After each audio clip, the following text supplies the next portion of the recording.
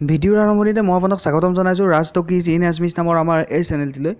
এই ভিডিঅ'ত আপোনাক জনাবলৈ লোৱা হৈছে যে চৰকাৰৰ লগত জিঅ' ফ'ৰ জিৰ কি এনেকুৱা সম্পৰ্ক আছে চৰকাৰৰ পৰা কি এনেকুৱা লাইচেঞ্চ লাভ কৰিছিলে জিঅ' ফ'ৰ জিয়ে যাৰ বাবে অন্য নেটৱৰ্ক আচলতে যি ফ'ৰ জি নেটৱৰ্ক আছে তাতকৈ অলপ বেলেগ হয় জিঅ' ফ'ৰ জি তাতকৈ কি বেলেগ হয় সেই সকলো বিষয়ে আজি এই ভিডিঅ'ত স্পষ্টকৈ আৰু সহজকৈ বুজাই দিয়া হৈছে আপোনালৈ। এই ভিডিঅ'ৰ সম্পূৰ্ণ শেষলৈ চালে আপুনি জানিবলৈ সক্ষম হ'ব যে অসমত জিঅ' ফ'ৰ জিয়ে বৰ্তমান সময়ত কেনেদৰে আগবাঢ়িছে কি কি প্লেন বনাইছে জিঅ' ফ'ৰ জিয়ে। লগতে চৰকাৰৰ লগত কি এনেকুৱা সম্পৰ্ক আছে চৰকাৰৰ পৰা কি লাইচেঞ্চ লাভ কৰিছিলে জিঅ' ফ'ৰ জিয়ে। লগতে ফ'ৰ জিৰ বিষয়ে কিছু কথা ফ'ৰ জি নেটৱৰ্কত কি বেণ্ড ইউজ কৰা হয় আদি এই সকলো বিষয় আপুনি এই ভিডিঅ'ৰ সম্পূৰ্ণ শেষলৈ চালে জানিবলৈ সক্ষম হ'ব। গতিকে আশা কৰোঁ আপুনি এই ভিডিঅ'ৰ সম্পূৰ্ণ শেষলৈ উপভোগ কৰিব। পোনে পোনে আগবাঢ়িছোঁ মই মূল ভিডিঅ'লৈ কিন্তু এইখিনিতে জনাবলৈ লৈছোঁ এতিয়াও যদি আপুনি আমাৰ চেনেল ছাবস্ক্ৰাইব কৰা নাই তেন্তে ছাবস্ক্ৰাইব কৰিবলৈ একেবাৰে নাপাহৰিব। এই ভিডিঅ'ৰ তলত থকা ছাবস্ক্ৰাইব বাটনত ক্লিক কৰি আপুনি আমাৰ চেনেল ছাবস্ক্ৰাইব কৰিব পাৰে আৰু ছাবস্ক্ৰাইব কৰাৰ পিছত বেল আইকনটি প্ৰেছ কৰিবলৈ আপুনি একেবাৰেই নাপাহৰিব। এনেধৰণৰ ট্ৰেণ্ডিং নিউজ টেকনিকেল নিউজ সকলো আপুনি বিনামূলীয়াকৈ লাভ কৰিব পাৰে এই চেনেল ছাবস্ক্ৰাইব কৰি আৰু বেল আইকনটি প্ৰেছ কৰি। পোনে পোনে এতিয়া আমি গৈছোঁ আমাৰ মূল বিষয়লৈ। জনাই আছিলোঁ আপোনাক যে জিঅ' ফ'ৰ জিৰ লগত আচলতে চৰকাৰৰ কি সম্পৰ্ক আছে এইখিনি জানিবলৈ লোৱাৰ আগতে আমি জানিব লাগিব ফ'ৰ জিৰ বিষয়ে কিছু কথা। ফ'ৰ জিত কি বেণ্ড ইউজ কৰা হয় কি ফ্ৰিকুৱেঞ্চি বেণ্ড নেটৱৰ্ক টাৱাৰবোৰত ব্যৱহাৰ কৰা হয় সেই বিষয়ে মই কিছু কথা আপোনাক জনাইছোঁ। টু জি থ্ৰী জিৰ বিষয়ে মই আজি নকওঁ আজি ফ'ৰ জিৰ বিষয়ে কৈছোঁ। এল টি এইট ফিফটি অৰ্থাৎ এইট ফিফটি মেগা হাৰ্জৰ যিটো বেণ্ড ফাইভ বুলি কোৱা হয় এই ফ্ৰিকুৱেঞ্চি বেণ্ড ব্যৱহাৰ কৰা হয় L T eighteen hundred megahertz band three বুলি কোৱা হয় এই ফ্ৰিকুৱেঞ্চি বেণ্ডটো ব্যৱহাৰ কৰা হয়।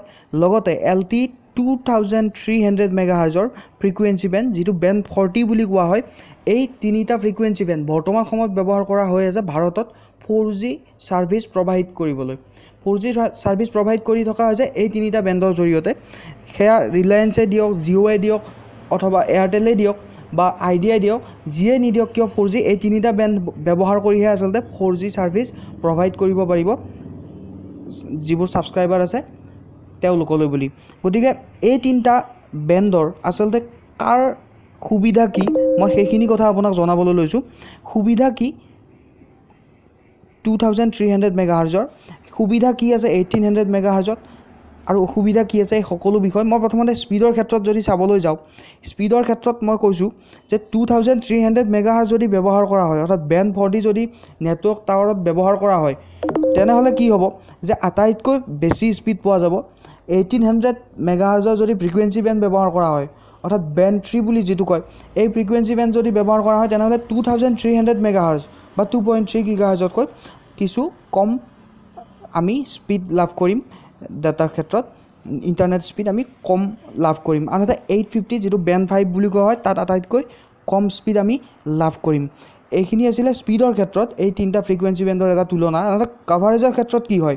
নেটৱৰ্ক কাভাৰেজৰ ক্ষেত্ৰত এইট ফিফটি যিটো আটাইতকৈ কম স্পীড হয় সেই কম স্পীডৰ যিটো ফ্ৰিকুৱেঞ্চি বেণ্ড তাৰ নেটৱৰ্ক কাভাৰেজ আটাইতকৈ বেছি হয়। এইটিন হাণ্ড্ৰেড মেগা হাৰ্জৰ তাতকৈ কম আৰু two thousand three hundred megahertz বা বেণ্ড ফৰ্টি এই বেণ্ড ফৰ্টিৰ স্পীড বেছি কিন্তু নেটৱৰ্ক কাভাৰেজ আটাইতকৈ কম হয়। এই তিনিটা ফ্ৰিকুৱেঞ্চি বেণ্ডৰ তুলনাত আটাইতকৈ কম হয়।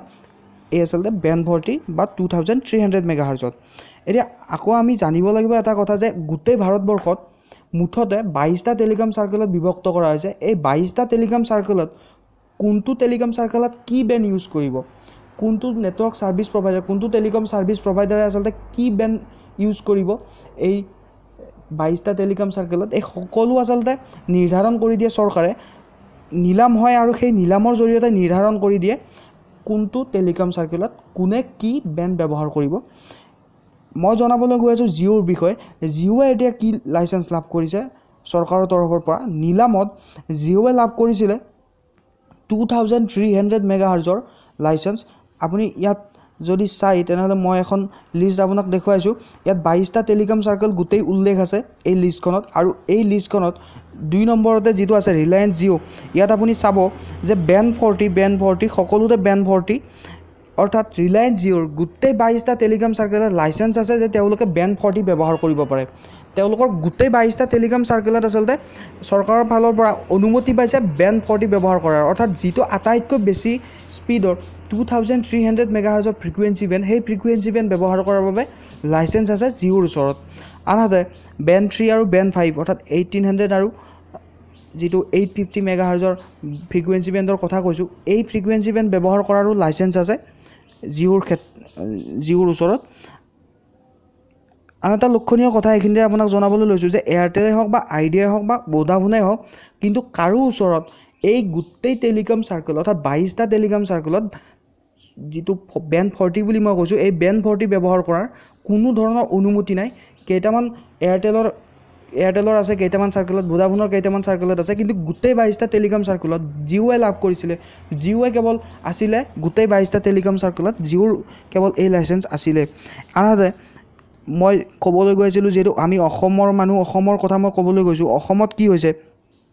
অসমত যদি আপুনি চাই ইয়াত যে বেণ্ড থ্ৰী বেণ্ড ফাইভ আৰু বেণ্ড ফৰ্টি এই তিনিওটা ব্যৱহাৰ কৰিব পাৰে ৰিলায়েন্স জিঅ'ই অৰ্থাৎ তেওঁলোকৰ যি ছাবস্ক্ৰাইবাৰ আছে অসমত ছাবস্ক্ৰাইবাৰক যদি তেওঁলোকে ইণ্টাৰনেট স্পীড প্ৰদান কৰিব লাগে তেনেহ'লে তেওঁলোকে এতিয়া বৰ্তমান সময়ত কি প্লেন গ্ৰহণ কৰিছে বিশেষ সূত্ৰৰ পৰা মই জানিবলৈ পোৱা মতে বৰ্তমান সময়ত আচলতে কি কৰি আছে টু থাউজেণ্ড থ্ৰী হাণ্ড্ৰেড মেগাহাৰ্জৰ নেটৱৰ্ক টাৱাৰত যদিও ফ্ৰিকুৱেঞ্চি বেণ্ড ব্যৱহাৰ কৰি আছে লগতে বেকআপ হিচাপে তেওঁলোকে ব্যৱহাৰ কৰি আছে এইট ফিফটি মেগাহাৰ্জৰ ফ্ৰিকুৱেঞ্চি বেণ্ড আৰু এইটিন হাণ্ড্ৰেড মেগাহাৰ্জৰ ফ্ৰিকুৱেঞ্চি বেণ্ড তেওঁলোকে ব্যৱহাৰ কৰি আছে নেটৱৰ্ক টাৱাৰত তাৰ ফলত কি হৈছে যে টু থাউজেণ্ড থ্ৰী হাণ্ড্ৰেড মেগাহাৰ্জৰ যিটো ফ্ৰিকুৱেঞ্চি বেণ্ড আছে যদি বেছি নেট বেছি জেগাত সহজ ভাষাত মই কৈছোঁ যদি বেছি জেগাত নেটৱৰ্ক কাভাৰেজ কৰিব নোৱাৰে তেনেহ'লে কি কৰিব যে এইটিন হাণ্ড্ৰেড মেগাহাৰ্জ বেকআপ হিচাপে থাকিব এইট ফিফটি মেগাহাৰ্জ থাকিব এই দুটা ফ্ৰিকুৱেঞ্চি বেণ্ডে কি কৰিব যে বেছি জেগা নেটৱৰ্ক কাভাৰেজ দিবলৈ সক্ষম হ'ব। গতিকে এটা সুন্দৰ প্লেন মতে আগবাঢ়িছে জিঅ' ফ'ৰ জিয়ে আন আন যিবোৰ ছাৰ্ভিচ প্ৰভাইডাৰ আছে তেওঁলোক বিপদত পৰিব নিশ্চয়। কিয়নো তেওঁলোকৰ ওচৰত এনেকুৱা ধৰণৰ লাইচেঞ্চ নাই। তেওঁলোকৰ ওচৰত নাই two thousand three hundred megahertz ব্যৱহাৰ কৰাৰ বাবে লাইচেঞ্চ গতিকে কি হয় দেখা যাব আচলতে কি কৰে আন আন টেলিকম ছাৰ্ভিচ প্ৰভাইডাৰে কেনেকুৱা আচলতে পদক্ষেপ লয়।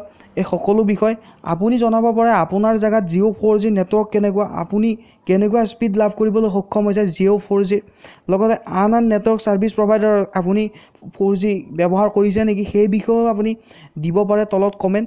লগতে মোৰ ভিডিঅ' কেনেকুৱা পাইছে এই ভিডিঅ' যদি ভাল লাগিছে আপুনি এটা কমেণ্ট কৰিব নিশ্চয়কৈ তলত কমেণ্ট বক্সত আৰু লাইক কৰিবলৈ একেবাৰে নাপাহৰিব। বহুত বহুত ধন্যবাদ আপোনাক। শেষত কৈছোঁ ছাবস্ক্ৰাইব কৰিব আমাৰ চেনেল এনেধৰণৰ ট্ৰেণ্ডিং নিউজ টেকনিকেল নিউজৰ বাবে। বহুত বহুত ধন্যবাদ আপোনাক এই ভিডিঅ'ৰ এজন দৰ্শক হোৱাৰ বাবে। নমস্কাৰ।